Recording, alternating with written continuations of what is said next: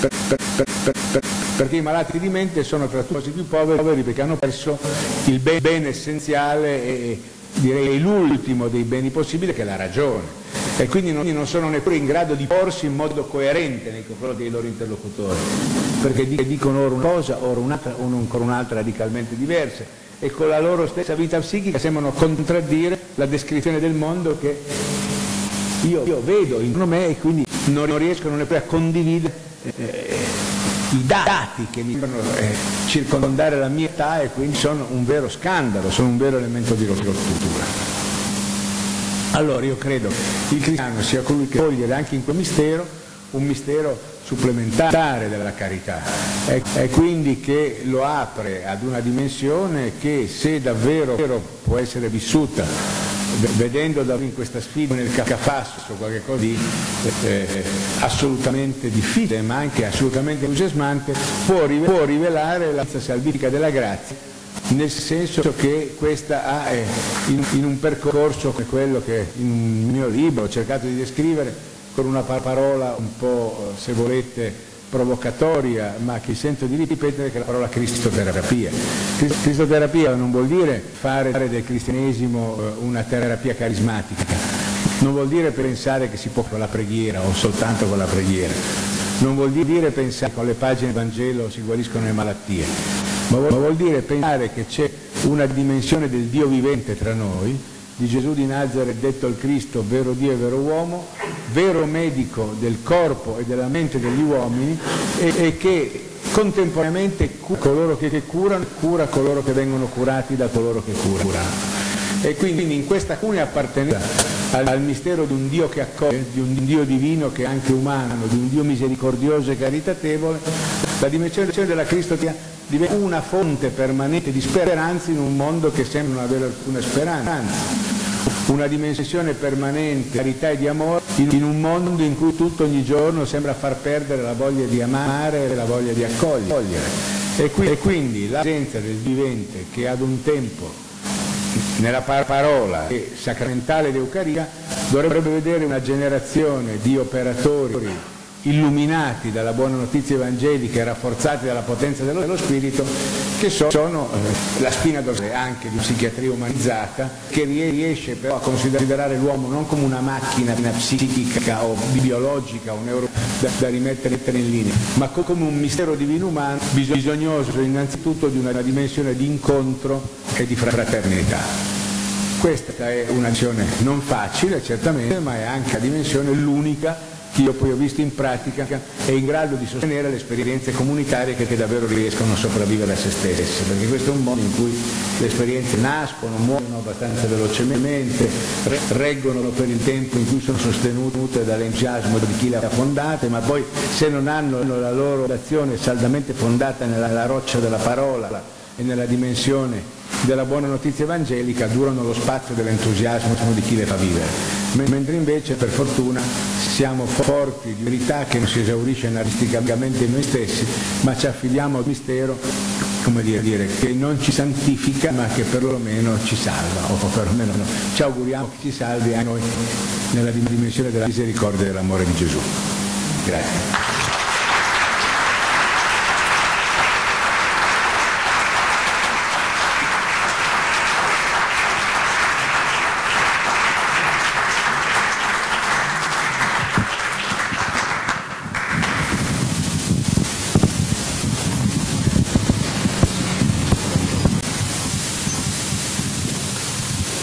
Bene,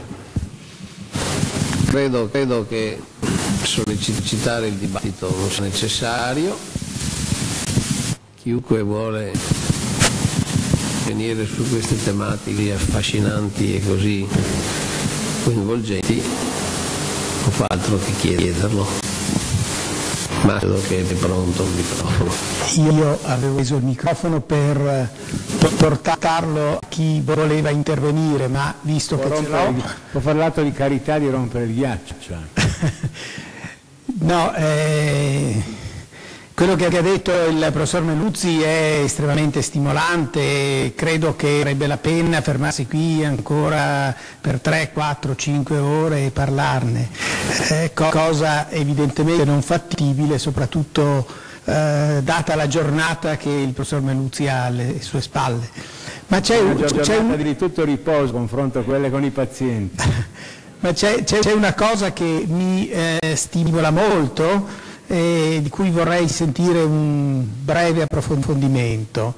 Eh, è la formazione, l'educazione. Allora il cristiano ha un suo compito eh, che, che, si tratta di operare, però se noi guardiamo anche tutti questi giovani, eh, questi sono sottoposti a, una, a, a più sollecitazioni. Quindi ci sono le sollecitazioni della famiglia, per esempio, che possono essere anche positive se la famiglia è, è nello spirito che lei ha illustrato, ma poi eh, ci, sono, ci, sono, i compagni di scuola, ci sono gli insegnanti, ci sono eh, tutta la società civile intorno e che naturalmente li sollecita in un modo non, non sempre eh, opportuno. È, è, un po' una lotta tra il bene e il male e, e chi vince? Allora, allora mi chiedo, è importante non solo l'educazione nella formazione diciamo, del giovane, diciamo, del figlio, di quello, ma anche sulla società in maniera tale che la società non sia così negativa. Questa era un po' la... Ma sì, il cristiano non è l'uomo del sabato, l'uomo del giorno del riposo di Dio, è un uomo domenicale, la domenica è il primo giorno della settimana, cioè il giorno in cui ci si rimbocca le maniche, anche per andare al sepolcro come Maddalena, per andare a portare oli e profumi per imbalsamare il corpo dell'amato. No? E anche, anche lì eh, l'uomo della domenica, anche la donna della domenica come la Maddalena, può eh, prorompere nella sequenza del giorno pasquale. Raccontaci Maria che è sulla via. La gloria di Cristo risorte, angeli i tuoi testimoni, sudari le sue vesti. Il Signore della vita era morto, ora è vivo e trionfa. Quindi noi siamo, come dire, testimoni della sfitta di Dio, ma della resurrezione. E quindi siamo forti della potenza della Pasquale anche quando siamo deboli, anzi soprattutto quando sono deboli, quando, siamo deboli. San Paolo dice sono forte quando sono debole. E quindi noi siamo forti anche come cristiani quando siamo socialmente deboli. La prova di ciò che dico sta nella storia della Chiesa, per esempio. I tempi di massima potenza, forza, carisma, carità, amore della vita della Chiesa sono stati i primi tre secoli di storia cristiana, che sono stati l'era dei martiri, dei padri della Didache, della lettera di Ogneto, della Chiesa delle Catombe, ma anche della Chiesa dei Grandi Santi, anche della preparazione dei, dei grandi concili che hanno fondato una fede che arriva fino a noi. Il cardinale Biffi diceva che il più attuale, più moderno per la vita della Chiesa attuale è il concilio di Nicea. Sono profondamente d'accordo. Quindi è dal credo che bisogna ripartire per fissare i, i capisaldi della risposta a queste domande. Allora, se è vero che il mondo è com'è, il mondo in cui noi viviamo oggi non è così diverso dal mondo dei primi tre secoli di storia cristiana. Viviamo in una meravigliosa società quasi perfettamente paganizzata, non c'è più Costantino, non c'è più l'alleanza tra trono e altare, è tutto meravigliosamente caotico. I cristiani a queste latitudini non sono ancora perseguitati, ma lo, saranno presto, ad altre, altre latitudini già lo sono. Il vento dello spirito soffia potente. Questo non lo dico per un atteggiamento carismatico apocalittico, ma perché sono convinto che ognuno deve vivere il tempo della fede nella sua epoca. Probabilmente chi viveva eh, nella Roma di Pio IX aveva eh, una visione del mondo e della Chiesa diversa da chi vedeva lo stesso mondo da Torino. Faccio una battuta per dire, per dire come eh, molto spesso il cristiano è un po' come l'aquilone, più al vento che gli rema contro e più in alza. Io penso che Don Bosco, oggi celebriamo la festa, è il dies natalis, è il giorno della morte, ovviamente, per i cristiani. Se è nato che so, a, a Vantone o a Sora, probabilmente al tempo delle sue prime visioni sarebbe finito per ordine del suffizio un monastero cistercense a meditare sulla sua follia. Mentre invece vivendo nella Torino dei massoni, dei Savoia, e di, un, di una laicità anticlericale forte, ha trovato un interstizio dire, in cui dovendo in qualche modo i Savoia dimostrare la loro non totale atteggiamento anticattolico, ha potuto trovare anche lo spazio e le risorse per diventare Don Bosco.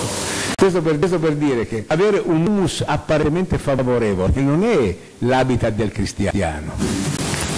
E il nostro Signore ce l'ha atteso la sua vita i padri degli apostoli in massimo grado, i padri della Chiesa anche.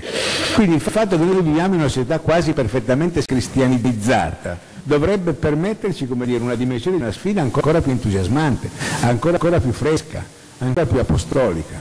Quanto giovani, i giovani capiscono soltanto la legge dell'entusiasmo, come dice la, l'ettimo della parola, entusiasmo, enzeos.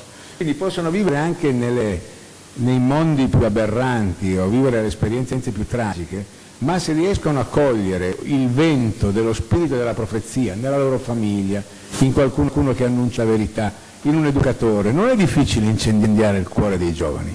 Io infatti mi sono convinto che se il cuore di chi ci circonda non si incendia, non è perché le stoppie sono bagnate, ma perché è la temperatura del nostro cuore che non arde ad una, ad una temperatura sufficiente ad incendiarlo, è la temperatura della nostra fede che non arde ad una perché la fede vera può spostare le montagne, ma ce lo testimonia la vita della Chiesa, soprattutto nei primi secoli.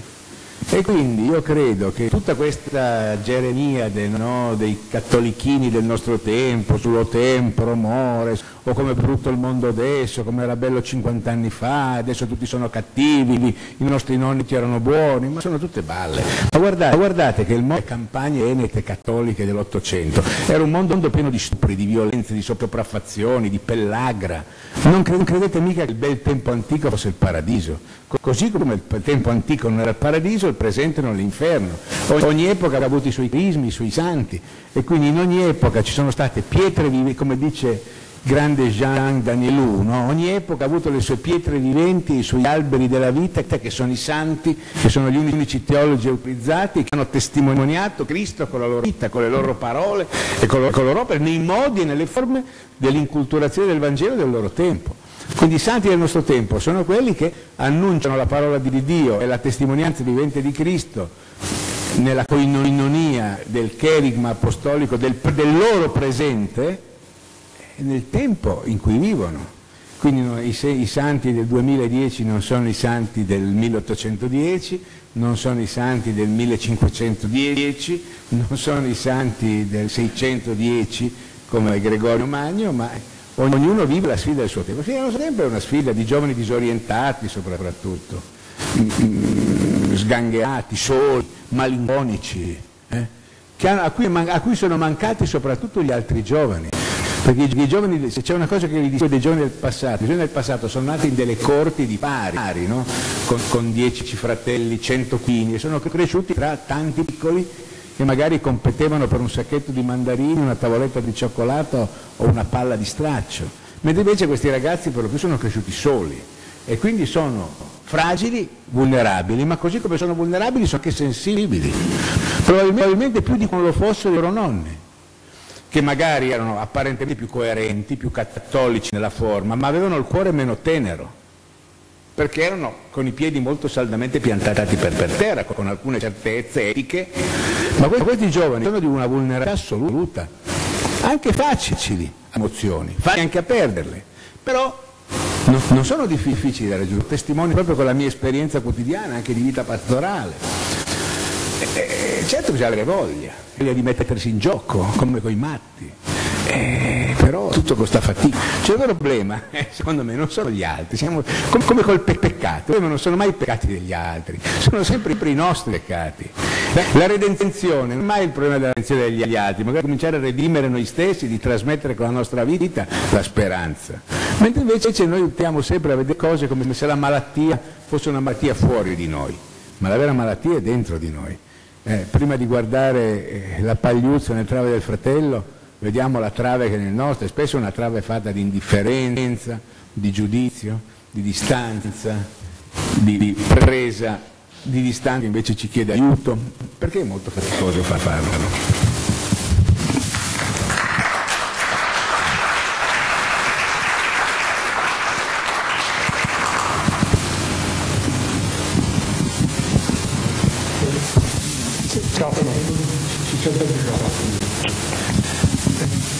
Dire qualcosa, esperienza, esperienza concreta con quei, quei gruppi di famiglie, mi pare, in cui realmente sì. recupera. Ecco, quello è un'esperienza sì, che noi sì. conosciamo. Sì, beh. La comunità di Agape Madre dell'Accoglienza è una comunità che non è niente di speciale, è il tentativo di fare una psichiatria dal volto umano partendo dall'esperienza di credenti, di un gruppo di persone che sono gli operatori della comunità e che spesso sono anche rappresentati in maggioranza da famiglie, prima di queste famiglie la mia famiglia, cioè intendo dire proprio anche mia moglie, mia figli, i miei cognati, i miei nipoti, altre famiglie, e da questa esperienza di famiglie che accolgono in rete, no? in maniera, maniera, un po' diversa dall'esperienza della comunità Giovanni XXIII di Don Oreste, che è stato un altro dei miei maestri come Don Pierino. Io per, per fortuna nella mia vita ho avuto la possibilità di attingere da tanti modelli, anche da tante eh, esperienze umane, anche da tante conoscenze personali, anche da tante amicizie paterne, appunto, come quella di Don Pierino, come quella di Don Oreste. Ecco, da loro ho imparato eh, il mestiere della comunità L'esperienza di Don Gelmini è quella di grandi comunità di autoaiuto, eh, quella comunità incontro, l'esperienza di Don Oreste è quella delle case famiglie della Giovanni XXIII. Ma mentre, ma mentre nelle case della Giovanni XXIII il modello è quello di eh, uno o due soggetti del disagio, per lo più disabili psichici nel suo caso, o giovani prostitute, inseriti in una famiglia, io concretamente, almeno quando è nata, io faccio comunità da 30 anni, però la comunità Agape è nata 12 anni fa, ho constatato che il modello almeno il problema della psichiatria grave, del disagio psichico, psicotico, dell'alternativa all'ospedale psichiatrico giudiziario è inapplicabile, nel senso che era difficile trovare delle famiglie che potessero tenere nel proprio nucleo familiare tre o quattro pazienti, perché era oggettivamente ingestibile e anche tutte le leggi non lo consentivano.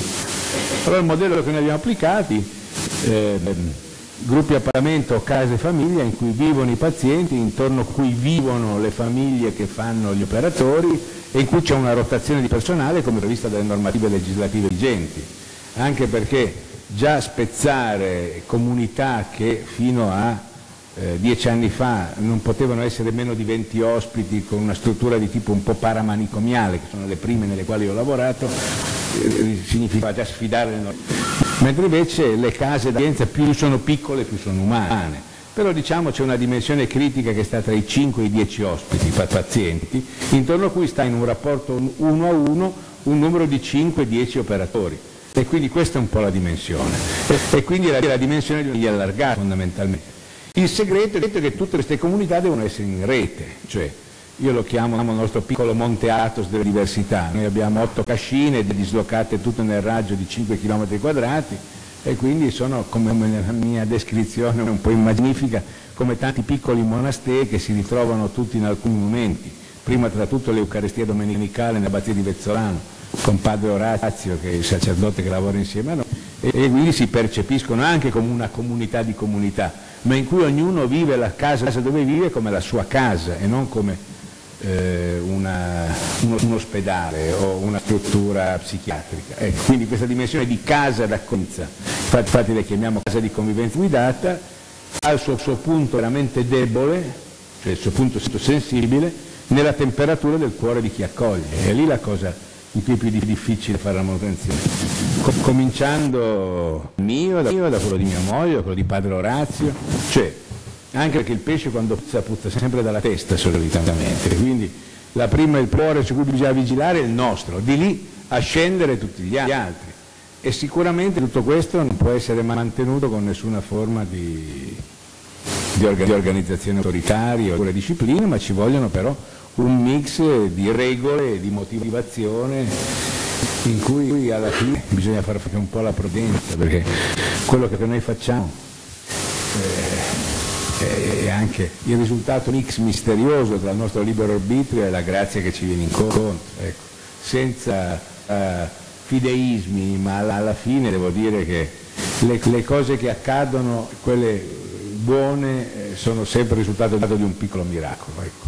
Questo lo dico senza tema di, di smentita, perché davvero molto, molto spesso eh, ciò che, che noi crediamo essere quello che è bene fare sarà poi eh, una rivelazione che giorno per giorno il nostro discernimento deve distinguere, che ci, dice se era giusto o non era giusto fare.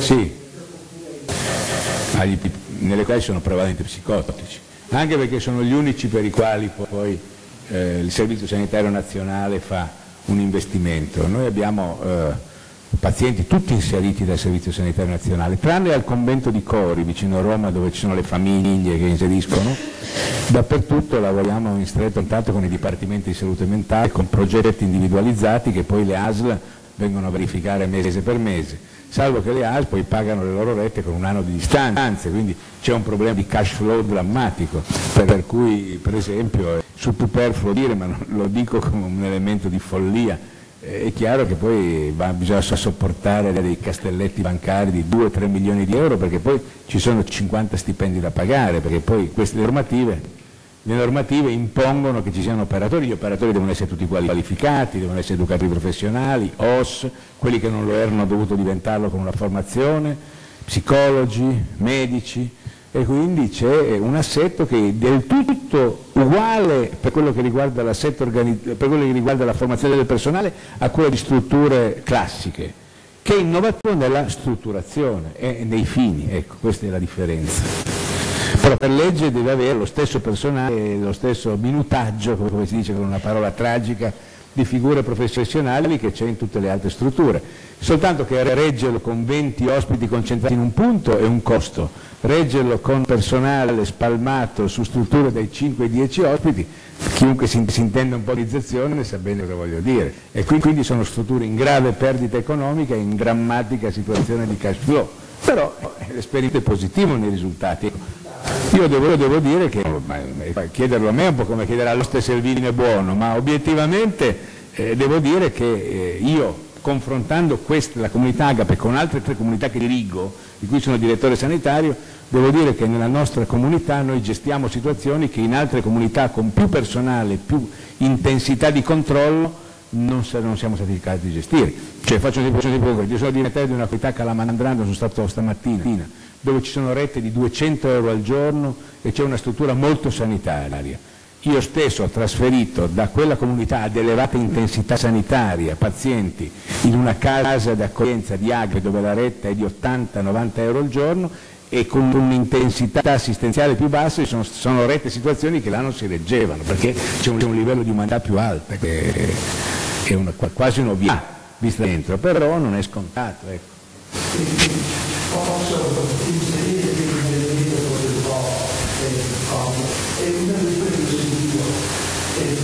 Differenza tra l'Europa e lo snodo del Siciato.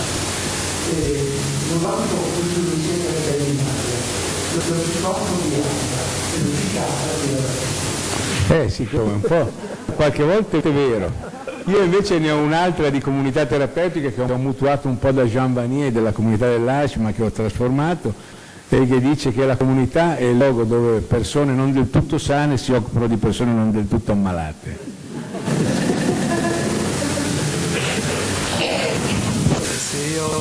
avevo, sarebbero tante domande compresa quella, una cosa sul disagio giovanile. Eh, io credo che eh, il, tipo di società che si è, ah, sì, il tipo di società che si è sviluppato è una, pone, pone abbastanza il problema di un disagio giovanile che può diventare effettivamente psichico in modo abbastanza grave. Vorrei un suo commento. Ma la ragione principale per cui questa età giovanile è una società diciamo così, fatica e sofferenza è legato ad un complesso di fattori, in parte antropologici, in parte direi anche demografici. Il primo da tutti è la crisi della famiglia e quindi la difficoltà a sperimentare dei legami di attaccamento stabili e rassicuranti. Il secondo è la crisi di un'educazione tra pari, come dicevo, e quindi una certa crisi di questa dimensione del rapporto con un gruppo di persone con le quali si forma una coralità, perché il vecchio mondo contadino non era certo il paradiso, eh, tutt'altro, l'ho detto prima, però certamente era un mondo in difficilmente si veniva lasciati soli era difficile per esempio che una giovane donna fosse lasciata sola con i suoi sentimenti di inadeguatezza o di depressione postparto tanto da mettere il suo bambino nella lavatrice, perché c'erano, intorno a lei sorelle, madri, suocere, cognate, cugine, cioè c'era una coralità di donne, così come era difficile che un uomo che cominciava a tralignare dalla retta linea, dalla retta via, eh, che si metteva a bere, andare all'osteria e non andava più nei campi, fosse lasciato solo, perché c'erano fratelli, cognati, cugini, genitori, cioè c'era una coralità. Ecco. In questo mondo corale non so se si può liberi, certamente si era meno soli. Adesso questi, questi giovani escono in una dimensione molto frammentata di relazioni e molto instabile. In questa solitudine è comunque un momento passaggio in cui i modelli familiari, per buoni o cattivi che siano stati, contano di meno essere, ed è importante essere accettati in un gruppo di pari. Se le regole e i riti di quel gruppo di pari implicano comportamenti più pericolosi, tipo le, le droghe per esempio, ma non solo, e beh, quello è un grosso guaio. Quindi direi che, che la crisi dei giovani oggi è una crisi di solidità e poi c'è anche una certa crisi di prospettive, perché forse la prima volta nella storia dell'umanità almeno negli ultimi tre secoli di storia europea, che i giovani hanno la sensazione, peraltro realistica, che la loro vita sarà economicamente, materialmente peggiore di quella dei loro genitori. E si è anche interrotto quella dimensione crescita che dava un po' un senso, se volete anche un po' eh, da, da morale eteroga, per cui eh, un contadino analfabeta riusciva meno ad alfabetizzare suo figlio a farne un mezzadro, il mezzadro voleva avere un figlio geometra, il geometra faceva il figlio architetto, l'architetto il figlio professore universitario, non lo so. Adesso questo flusso si è interrotto, per, per cui la dimensione, scusate, pronto? pronto? Ehi, facendo una conferenza a padre Angelo, eh? ci vediamo domani mattina. Eh?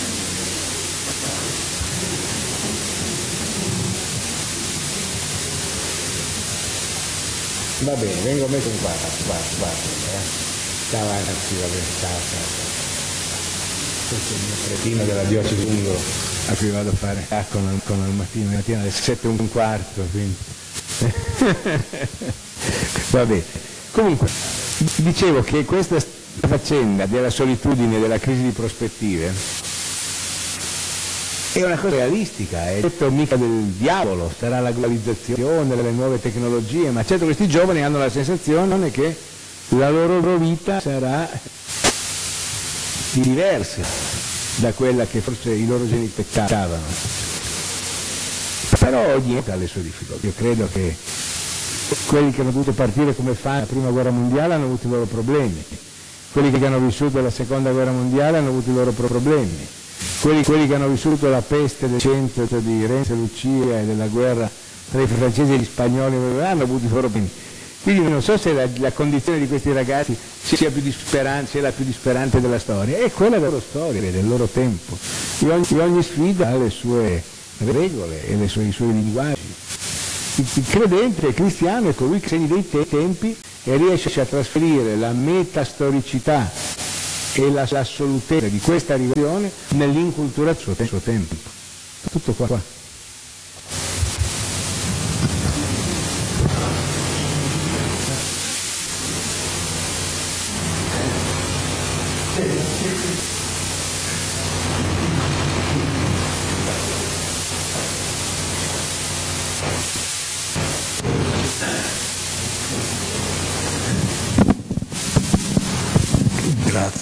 Professore, quante di queste persone mediamente che vivono in queste comunità riescono poi a raggiungere uno stato da poter vivere una vita normale fuori dalle comunità?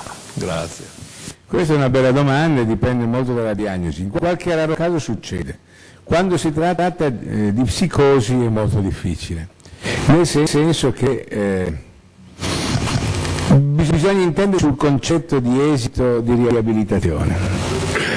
Perché se raggiungere uno standard di recupero vuol dire poter vivere da soli in un piccolo appartamento di periferia ed autodeterminarsi completamente guadagnando uno stipendio di 900.000 euro al mese e che questa, questa sia la normalità, probabilmente una normalità nella quale non sarei mai riuscito a sopravvivere. Io stesso ho dovuto inventarmi una vita più complicata, più fantasiosa, più ricca di così. E quindi pensare che recuperare la salute mentale sia poter fare l'operaio e vivere in un piccolo appartamento di periferia di una banlieue metropolitana di una città è evidentemente un punto di vista, ma non è l'unico. Allora io credo che rispetto a questa idea ci sia, ci sia invece una situazione sfumata che passa attraverso situazioni in cui una buona comunità è quella che sa proporre anche tutta una filiera di passaggi successivi, in cui per esempio si può passare da una comunità protetta ad un gruppo appartamento, ad una casa di convivenza guidata con un numero di ospiti più ristretto e poi magari si può andare a vivere insieme ad un altro paziente con una borsa da lavoro in un appartamento, noi abbiamo anche degli appartamenti con un ospite o due che hanno, che hanno magari una borsa lavoro. Ecco, pensare però che ci possa essere una situazione in cui noi simuliamo una perfetta normalità di due lavoratori sposati con due figli, coabitanti in un appartamento con due stipendi da 1000 euro, beh questo è, è palesemente un'illusione, anche perché mi pare che sociologicamente stia diventando un'illusione anche per i cosiddetti sani. E quindi pensare che possa diventare un modello di normalità per gli schizofrenici mi sembra, sembra effettivamente un'ipotesi del tutto realistica.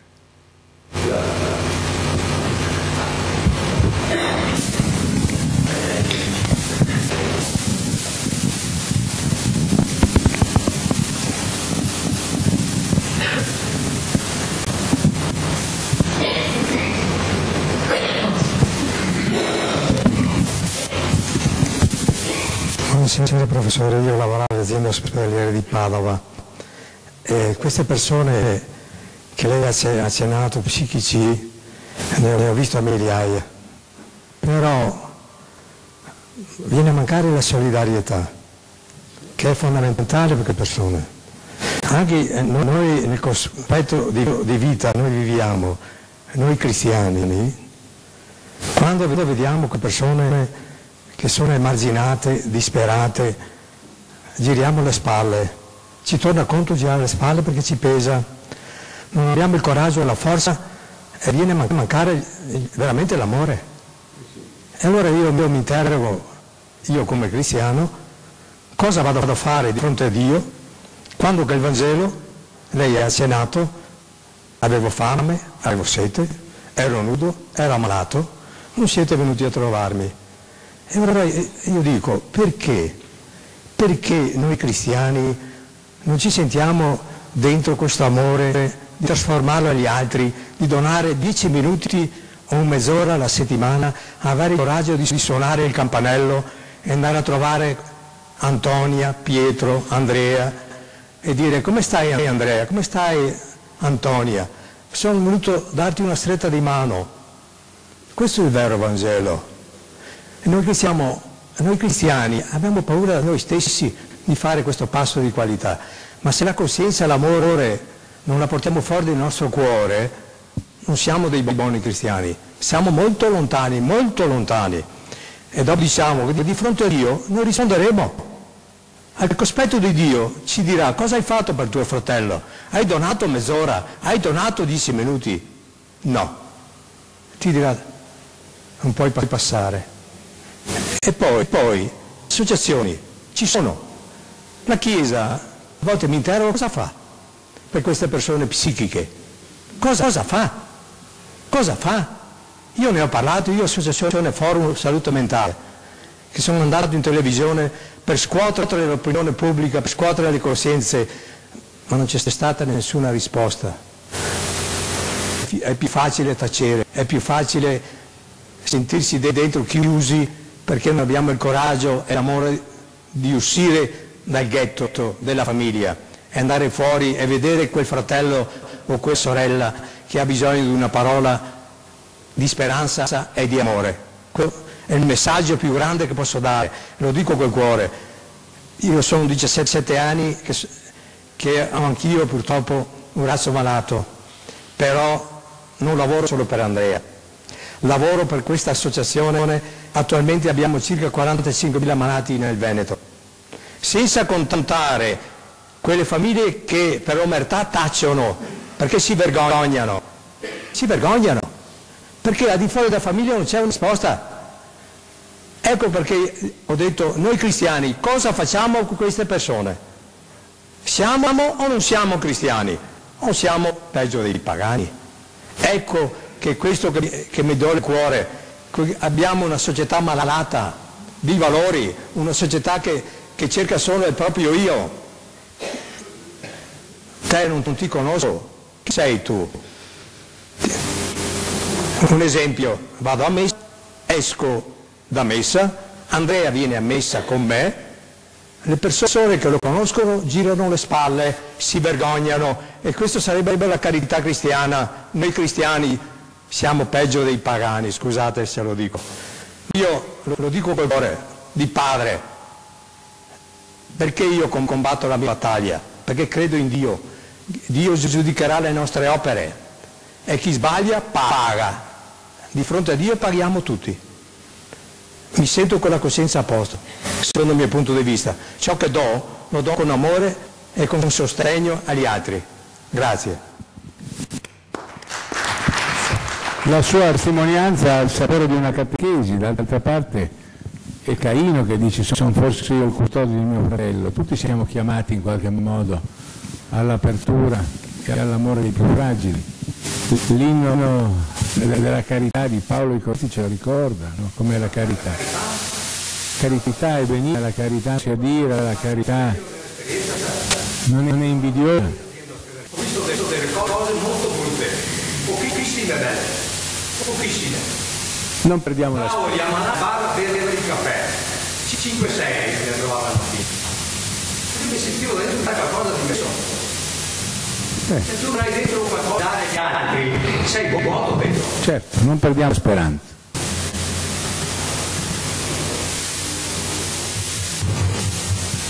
Altre domande?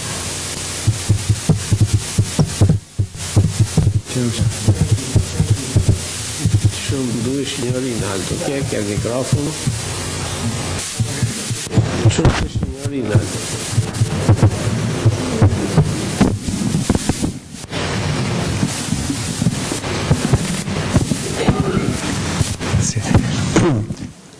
Professore, lei ha parlato di narcisismo e del ridimensionamento della valutazione del narcisismo nella nuova classificazione.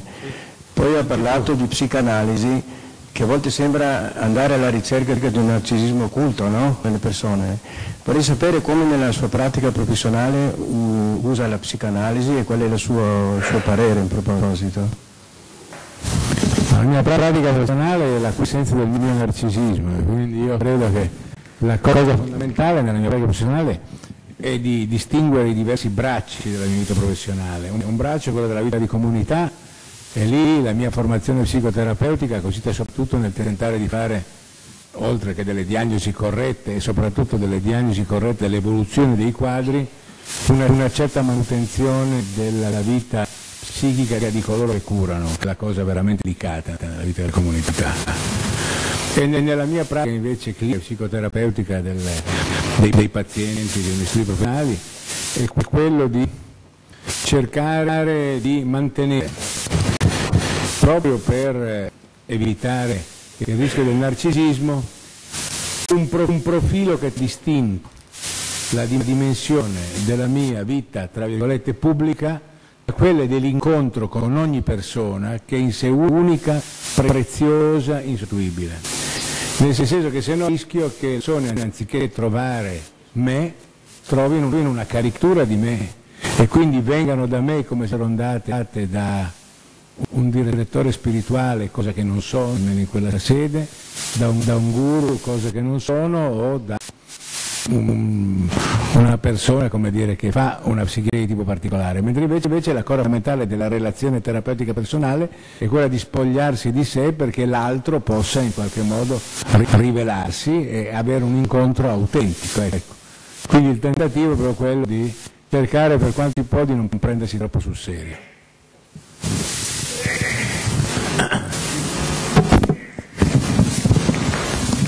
Buonasera, io sono un collega e faccio, lo, eh, fatto, faccio ancora lo psichiatra da, da, parecchio tempo e mi pare che la piega che sta prendendo adesso il discorso diventa più eh, realistica e comprensibile.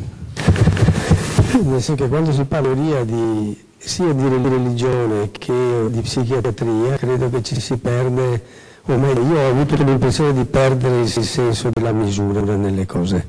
Mentre parlando, stiamo facendo adesso, di esperienze personali, di rapporti con i pazienti, eh, i problemi vengono fuori nella loro concretezza. Eh, se devo dire qualcosa della mia esperienza personale, eh, mi sono sentito molto a disagio nella prima parte perché ho sentito la sua esperienza molto lontana dalla mia, nel senso che io ho sempre frequentato la Chiesa, sono un allievo dei Gesuiti, però devo dire che nella pratica professionale la, la mia, il mio aspetto religioso è rimasto dentro di me e se avevo una spinta a fare qualche cosa che mi mettesse in comunicazione la mia vita personale con la professione è stato quello di approfondire la mia vita personale e quindi di affinare eh, la riflessione su, su, me stesso, la psicoterapia, le esperienze psicoanalitiche,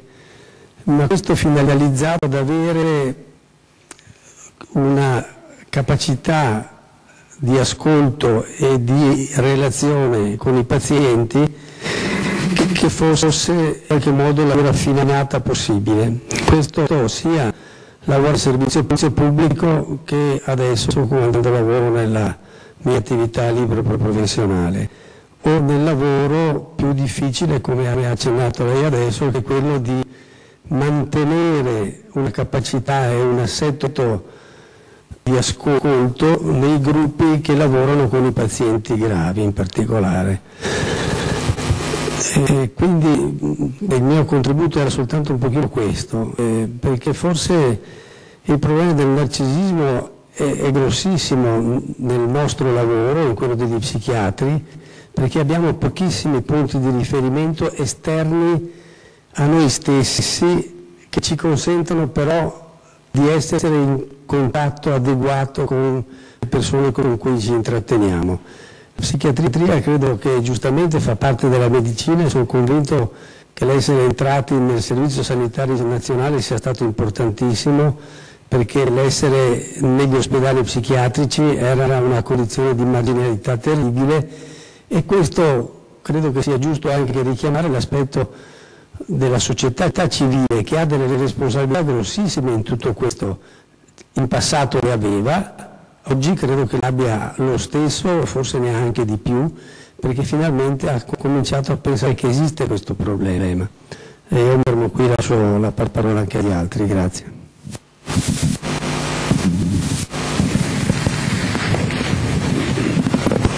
Sì, è un, è un intervento molto, inter molto, interessante. Io penso a questo. Eh, colgo anche la forza dell'obiezione. Io come scelta personale dire, mi sono trovato in un certo tempo della mia vita umana, personale e professionale a mettere in discussione il paradigma della cosiddetta neutralità terapeutica cioè del fatto che lo psichiatra dovesse completamente spogliarsi della propria entità antropologica per assumere appunto quella che tu chiamavi la raffinatezza della relazione psicanalitica. Io credo che questo non corrisponda a nessuna delle caratteristiche del, del, bisogno di incontro autentico che ci viene dai pazienti, né da quelli della pratica professionale e ancora di meno da quelli della vita comunitaria. Però mi rendo conto anche del rischio che ci possa essere una sorta di fusionalità gruppale che per uno psicanalista diventerebbe immediatamente sinonimo di paranoia, che crei un gruppo, tra virgolette, spiritualmente ispirato e che quindi diventi inglobante rispetto a chiunque ne faccia parte, soprattutto, soprattutto se fa parte la parte più vulnerabile che sono i pazienti. Allora io mi sono fatto questo modello mentale, così come c'è un modello educativo cristiano nella scuola, che non, che non significa che chi va in una scuola cattolica riceve un dottrinamento di tipo cattolico, ma c'è un modello educativo di cui la scuola cattolica è portatrice che passa attraverso alcuni valori cari ed alcune dimensioni e proposte di, di, eventi educativi esperienziali. Le cose che su queste cose scriveva per esempio Don Giussani sono fondamentali. Nell'evento educativo la soggettività dell'educatore, la sua storia è un fatto esperienziale che si trasmette. Ecco, quello che avviene nell'esperienza della scuola secondo me avviene anche in qualche modo nell'esperienza delle comunità ed avviene inevitabilmente anche nell'esperienza della psicoterapia. Le persone che vengono in consultazione o che vengono da me in studio non posso pensare che escludano che, abbia letto, che, abbiano letto le cose che ho scritto, i libri che ho scritto, gli articoli che scrivo e che abbiano la percezione antropologica di chi sono io. Ecco, non posso pensare di far trovare loro delle pareti disadorne, una perfetta sterilizzazione dei rapporti e l'assoluta neutralità della mia persona. Non fosse altro perché sarebbe realistico. Io quindi mi, mi pongo nella, quello che posso della verità della mia esperienza, delle mie fatiche, delle mie forze, delle mie debolezze e coloro che vengono interagiscono con una bottiglia che porta un'etichetta che illustra bene il suo contenuto. Questo naturalmente contravviene ad alcuni paradigmi della psicoterapia classicamente intesa, almeno nel modello analitico, che però secondo me è smentito dalla sua stessa storia, perché poi in realtà il concetto di neutralità decantato come metalinguaggio non è tale neanche nella storia delle esperienze eh, psicoterapeutiche di nessuna scuola, né di quella psicanalitica africana, né neanche mai di quella yugana o di quella ariana, né di tutte le esperienze delle psicoterapie umanistiche e, e transpersonali o transizionali o sistemiche di, di tutti questi ultimi decenni. E quindi io credo che questa cosa eh, un po' folle della cristoterapia, che sembra una follia sia in termini teologici che in termini psicologici sia il vero spazio di sperimentazione in cui io sto cercando di situare quello che resta della mia vita terrena.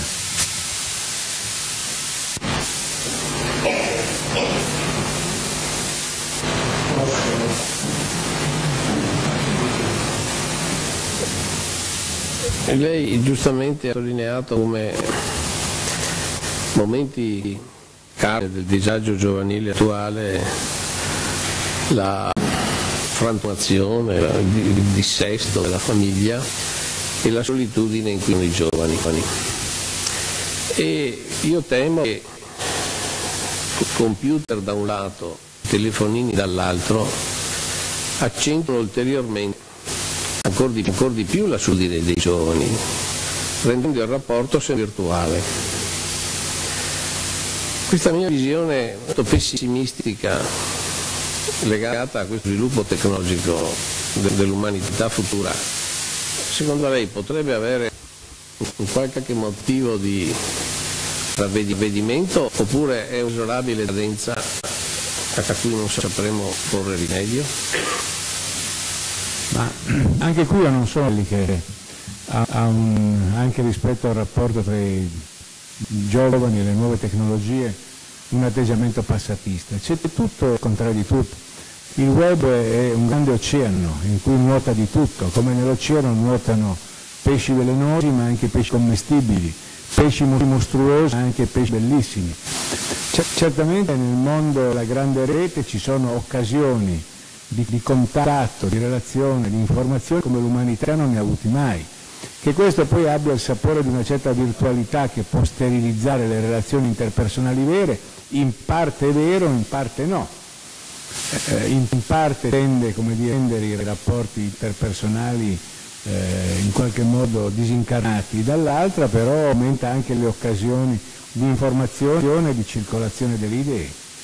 Eh, credo che fosse Tommaso che diceva che natura forma, forma percipiendis la natura è percepita nella forma del contenitore che la contiene eh, modi di percipienti per loro. Quindi io credo che i mezzi non siano neutri rispetto al loro contenuto, però sono un segno della storia del, che li abita e da cui sono abitati.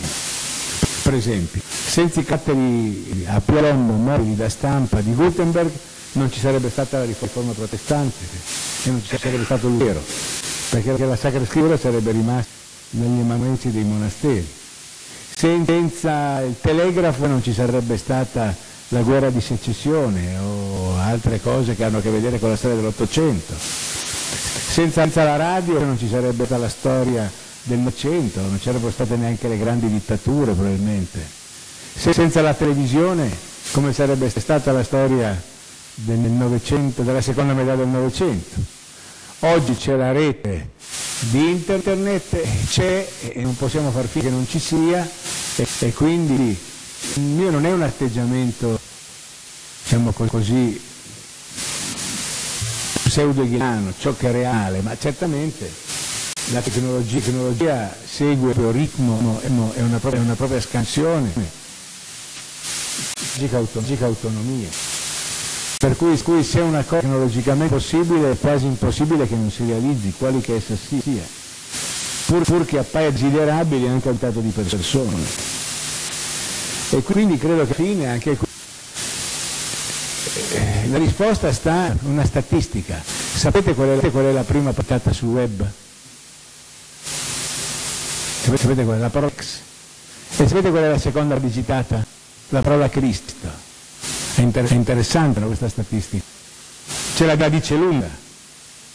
E allora però questa, questa statistica contiene anche qualche seme di speranza però. Qualche idea seminale di speranza.